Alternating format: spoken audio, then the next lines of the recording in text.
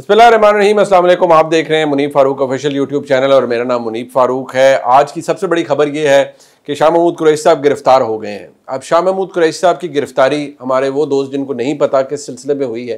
देखिए, साइफ़र का वो मामला, साइफ़र एक हकीकत थी, लेकिन साइफ़र के ऊपर जो बयानिया इमरान खान ने बनाया, वो झूठ पर मबनी था।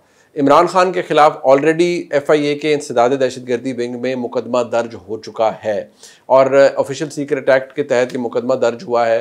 कहा यह जाता है, मुतजाद खबरें हैं, कुछ लोग ये कह रहे हैं फ़ौजी अदालतों में मामला जाएगा, कुछ लोग कह रहे हैं नहीं, ये मामला आम रिवायती जो पाकिस्तान की अदालतें उनमें होगा। शाह महमूद कुरैशी साहब की गिरफ्तारी दो तीन वजूहत की वजह से बहुत अहम है।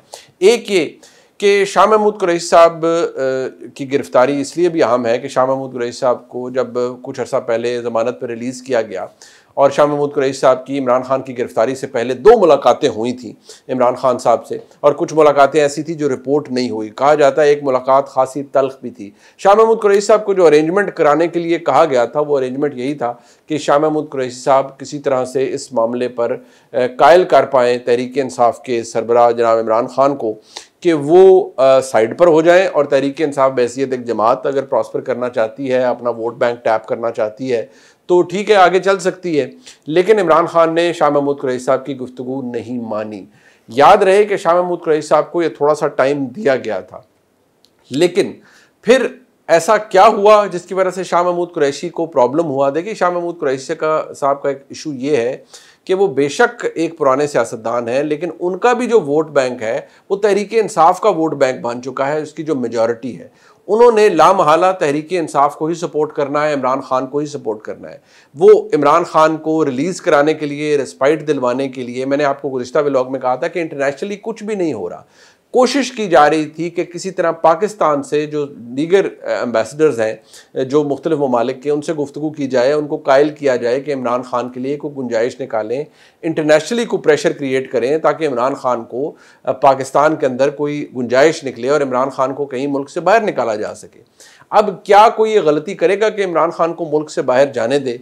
अगर रियासत ने यह काम करना है तो रियासत को करने से पहले ये इसलिए सोचना होगा कि अगर शाम इमरान खान साहब बाहर निकल गए और उनको किसी तरह के अरेंजमेंट के तहत बाहर जाने दिया गया तो इमरान खान की तो जो पॉपुलैरिटी बाहर है इस वक्त और जो पाकिस्तानी मुल्क से बाहर रहते हैं वो इमरान खान की बहुत बड़ी तादाद है उनकी और इमरान खान बाहर बैठ के जो मर्ज़ी बयानियाँ बनाएँ, जितनी मर्ज़ी तकारीर करें, तमाम दुनिया उन्हें देखेगी। तो क्या इमरान खान को ये मौका दिया जाएगा?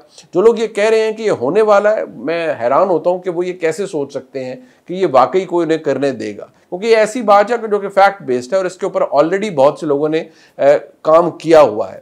अब अहम बात यह है कि शाह महमूद कुरैशी साहब को एक तो ये कि वो जिस माहदे के तहत बात की गई थी, उनको नहीं लाने दिया उनको वो करा नहीं सके, इमरान खान को पीछे साइड लाइन वो कर नहीं सके, और उनकी मजबूरी भी थी, अगर वो कर देते तो कभी भी पाकिस्तान तहरीक इंसाफ का वोटर शाह महमूद कुरैशी साहब से कनेक्ट कर ही नहीं सकता वोटर कनेक्ट सिर्फ़ इमरान खान के साथ है। अब याद होगा आपको कि बहुत सी ऐसी चीज़ें मौजूद हैं और एक ऑडियो भी सामने जो आई थी जिसमें इमरान खान साहब कह रहे थे कि ये साइफर आ गया तो हमने इसको लेट्स प्ले विद इट इसके साथ इसके साथ हमने खेलना कैसे है? इसके ऊपर बयानियाँ कैसे बनाना है? इसको हमने इस्तेमाल कैसे करना है? उसमें ऑडियो जो आई उसमें ऑडियो आज़म खान साहब की थी। याद रहे कि आज़म खान साहब पहले एक तहवील में रहे, फिर वो सरफेस हुए, फिर उनका मजिस्ट्रेट के सामने बयान रिकॉर्ड किया गया। एक ऐसा स्टेटमेंट जिसके उन्होंने बाकायदा तौर पर ओन किया। उसकी एविडेंशियल वैल्यू क्या है, उसकी कानूनी वैल्यू क्या है, वो तो खैर अदालत में जाके पता चलेगी। लेकिन उन्होंने इसको इम्प्लिक उन्होंने बहुत से लोगों को इम्प्लिकेट किया उसके अंदर। और जो होशरुबा इनकशाफात उन्होंने अपने उस बयानिए के अंदर किए, कुछ ऐसी बातें जो कि तमाम ऐसी भी हैं जो कि शायद डॉक्यूमेंटेड नहीं है। उसकी बेसिस पर शाह महमूद कुरैशी साहब को गिरफ़्तार किया गया है। लेकिन सवाल ये पैदा होता है कि क्या शाह महमूद कुरैशी साहब भी उतने ही जिम्मेदार हैं जितने इमरान खान जिम्मेदार थे? याद रहे कि शाह महमूद कुरैशी साहब तो फॉरेन मिनिस्टर थे और एक दफ़ा नहीं, वो दो दफ़ा मुल्क के फॉरेन मिनिस्टर रहे हैं। और जो लोग शाह महमूद कुरैशी साहब को जानते हैं, वो उनकी सियासी बसीरत से भी वाकिफ़ हैं कि शाह महमूद कुरैशी साहब जहीन आदमी हैं। वो आँखें बंद करके किसी भी ऐसे बयानिए को नहीं टो कर सकते या नहीं फॉलो कर सकते, जिसके अंदर बिल्कुल ही अगर देखा जाए तो सौ फ़ीसद झूठ भरा हो।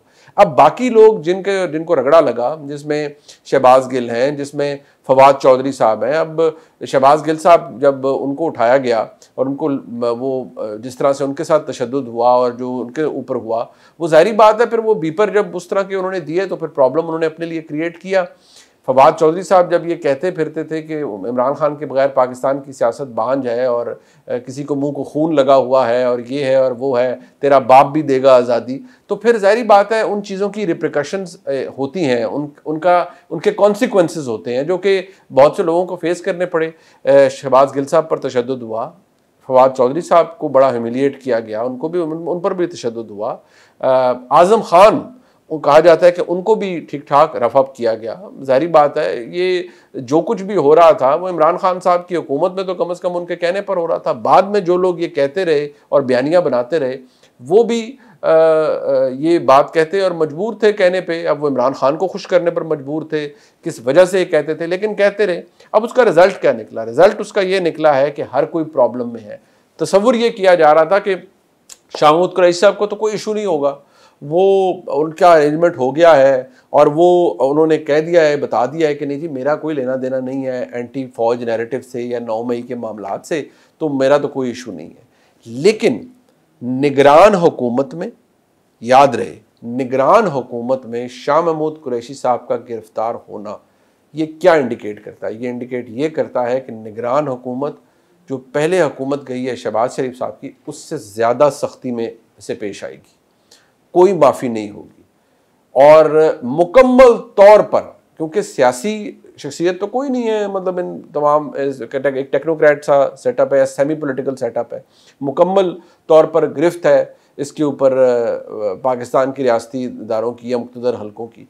तो इसके अंदर जो भी, जो लोग 9 मई के अंदर इन्वॉल्व बिल वास्ता, बिला वास्ता या जो इमरान खान की उस एजेंडे को फॉलो भी करते हैं, उनको नहीं बख्शा जाएगा। ये आज शाह महमूद क्रईस साहब ने एक प्रेस कॉन्फ्रेंस की दोपहर को और उसके अंदर उन्होंने कहा कि इमरान खान ही चेयरमैन है पार्टी के और वही रहेंगे और सब कुछ वही होगा। तो उससे प्रॉब्लम क्रिएट हुआ है उससे एक इशू हुआ है। लिहाजा अब आ, उसने एक प्रॉब्लम क्रिएट शाह महमूद कुरैशी के लिए भी कर दिया है।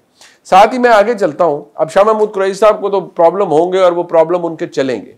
साथ आप ये देख लीजिए कि कोई पता नहीं है इलेक्शंस का। मुस्लिम लीग नून एहसन इकबाल साहब फरमाते हैं, नब्बे दिन में हो, एक सौ नब्बे दिन में हो, हमें क्या फ़र्क पड़ता है? वाह, यानी कि उन्होंने बता दिया है कि उनको ये सूट करता है समाओ कि इलेक्शन डिले भी हो जाए तो अच्छी बात है। वो इसलिए कि जो इतना कबाड़ा हुआ है मुस्लिम लीग नून के वोट बैंक का, किसी तरह से वो वापस आ जाए। किसी तरह से हम ये कह सकें कि जी, ये निगरान हुकूमत ने बड़ा बड़ा गर्क कर दिया।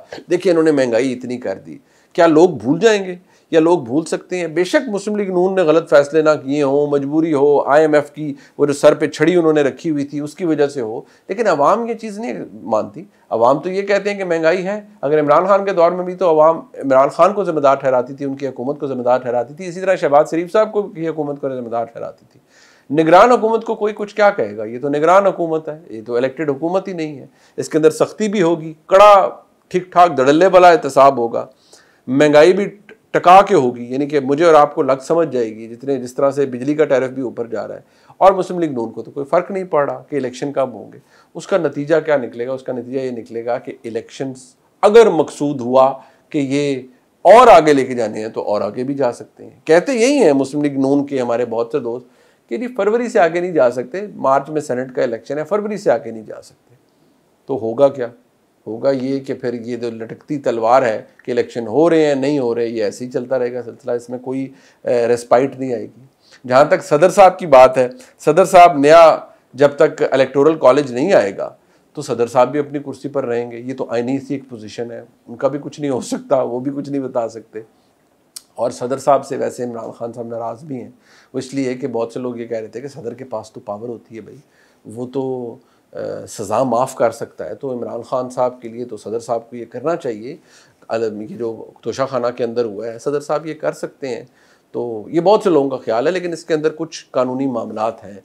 सदर साहब को मिलना चाहिए इमरान खान साहब से, लेकिन उस पर भी कोई हरी बात है, सदर साहब कैसे जा सकते हैं? भाई वो कागज़ों में ही सही, लेकिन हेड ऑफ़ द स्टेट तो हैं, सदर पाकिस्तान है supreme commander of armed forces हैं, वो कैसे जा सकते हैं अपने कायद जनाब इमरान खान को मिलने के लिए जेल में? मुश्किल हालात। पीएमएलएन को, उनको मज़ा आ रहा है शायद कि ठीक है भाई, हो जाए इलेक्शन डिले मियाँ नवाज़ शरीफ साहब की वापसी, उन्होंने कहा अगले महीने शहबाज शरीफ साहब ने कहा वापस तशीफ ला रहे हैं। अभी इस व्लॉग को बनाने तक जो मैं बात कर पाया हूँ बहुत से लोगों से, कोई क्लैरिटी नहीं है कि मियाँ नवाज़ शरीफ का पाकिस्तान आ रहे हैं। क्योंकि बहुत सी चीज़ें से चीज़ से जुड़ी हुई हैं कि मियाँ साहब जब आएँगे तो उस वक्त सूरत हाल क्या होगी? क्या मियाँ नवाज़ शरीफ साहब को सिर्फ़ उसी वक्त आना है जब सर्टन हो कि ये इलेक्शंस की डेट है, या उससे पहले उन्हें आ जाना चाहिए था, अभी तो इस बात पर भी बहस हो रही है। लिहाजा वहाँ पर भी कोई नहीं। अहम नुकता, पाकिस्तान पीपल्स पार्टी के हमारे दोस्त नाराज़ हैं, और वो नाराज़ किससे हैं? वो नाराज़ चंद जो इकतदार में बैठे लोग हैं, या जो बड़े लोग हैं मुख्तदर हल्के हैं, उनसे हैं। कुछ सख्ती का एलिमेंट नज़र आ रहा है। फौरी तौर पर बहुत से अफसरान तब्दील हुए हैं, बहुत से अहम अहदों पर जो लगे हुए थे, जो कि पाकिस्तान पीपल्स पार्टी के लोग थे, उनको हटाया गया है। और जो जिस तरह से सूरत हाल बन रही है, ये इस, इसका, इससे क्या इंडिकेशन होती है कि पाकिस्तान पीपल्स पार्टी मुकम्मल तौर पर खुश नहीं है, जो हो रहा है? और बताया जाता है कि इस बात का एहसास पाकिस्तान पीपल्स पार्टी की लीडरशिप को भी है। उनको इस बात का भी एहसास है कि शायद पाकिस्तान पीपल्स पार्टी की जो मोनोपली है या जो उनकी हेजमनी है पूरे सिंध के ऊपर कि वो इलेक्टोरली बड़े स्ट्रॉन्ग है, इसको भी शायद तोड़ने की कोशिश की जाए अगले इंतबात से पहले। वो किस तरीके से होगा, कैसे होगा, वो तो आपको पता है फिर रियासत की टेक्स्ट बुक तो एक ही होती है। वो किस तरीके से होगा, ये भी वर्कआउट होना मुश्किल है, लेकिन पाकिस्तान पीपल्स पार्टी के हमारे दोस्त नाराज़ हैं। इसी तरह पाकिस्तान मुस्लिम लीग लोगों के दोस्त हमारे कन्फ्यूज़ हैं। और पाकिस्तान तहरीक इंसाफ के बारे में मैं आपको बता चुका हूँ कि उनके लिए कुछ अच्छा नहीं हो रहा। याद रखिए, शाह महमूद कुरैश साहब की आज गिरफ्तारी, दोपहर की प्रेस कॉन्फ्रेंस, शाम की गिरफ्तारी। इससे एक बात ज़ाहिर होती है कि no nonsense will be tolerated बिल्कुल एब्सोल्युटली जो एक क्लियर मैसेज है वो ये है। आज का ब्लॉग आपने देखा, इसको लाइक सब्सक्राइब शेयर कीजिएगा। बहुत शुक्रिया।